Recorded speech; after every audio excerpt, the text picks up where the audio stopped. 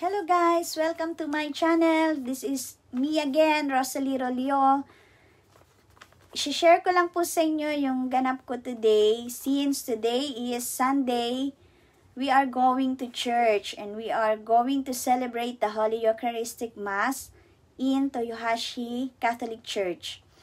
So, ito po guys yung church namin dito sa Toyohashi. And then, since hindi ko po ma-captured yung video ng Holy Mass to respect the solemnity of the Mass, i-share ko lang po sa inyo yung mga readings for today. This is the Sunday Liturgy Mass. And then, the first reading,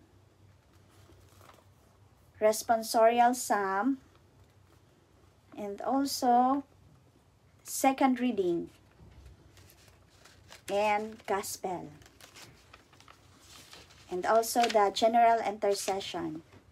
So that's all guys. Thank you and God bless us all. Japan now is back into new normal. Nagsisimba po kami dito wearing face mask and may social distancing po inside the church. And then, yun lang po. God bless us all. Bye!